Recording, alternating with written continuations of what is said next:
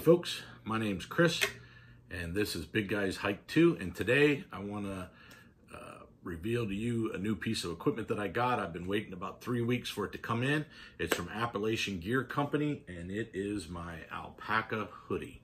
Um, it's a, the green version, and it's a 2X. Um, it does not have a front kangaroo pocket or any pockets at all, no zips and um, it does not have the finger holes for the uh, sleeves, but the sleeves do go all the way down to um, just short of the tip of the fingers, so that's good. Um, it's a little itchier than I thought it would be. I owned a other alpaca sweater that was very soft, like a cashmere feel.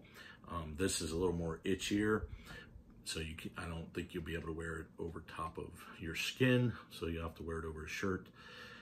Uh, plan on uh, using it this fall, and I'll do a review on it once I've used it in some cooler weather to let everybody know um, how it works. But I'm pretty excited about it.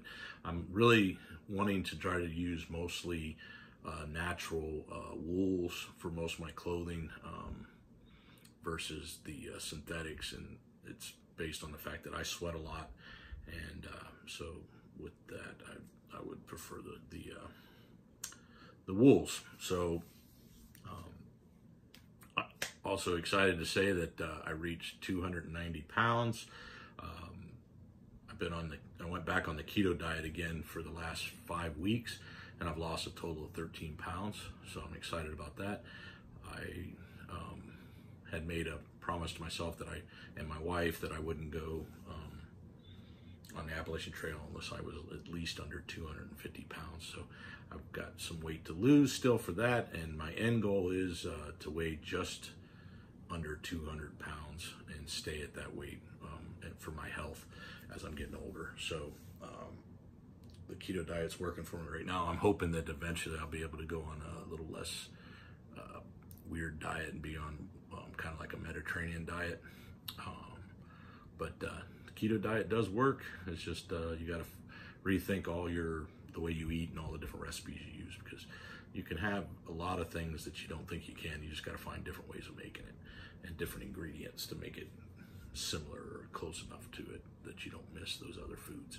Um, so I did want to also show everybody real quick that uh, I have uh, used a walk-in closet in one of my bedrooms as my new um,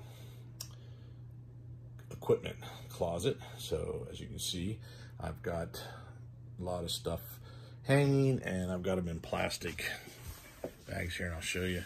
Um, so I've got containers for different items like uh, that's sanitation and uh, hygiene, um, water, um, electronics, uh, these are uh, the sprays and survival type items like that. And then electronics, or, or uh, that's electronics. That down there is the um, it's gloves, hats, winter stuff, some gaiters, things like that.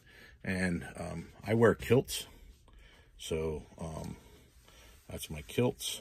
And then on the other side, I've got hanging is my uh, all my packs, my uh, sleeping uh, equipment over here.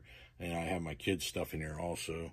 Um, and then down here, I have my cooking gear and stuff like that. My sorry about that, spinning that around. I got there's all my shoes and things like that. So, um, anyway, I have all my stuff organized in there, and so it'll be a lot easier to do that. So, in the future, I'll be able to rig up gear and different types of hikes, be able to grab different gear for different things, and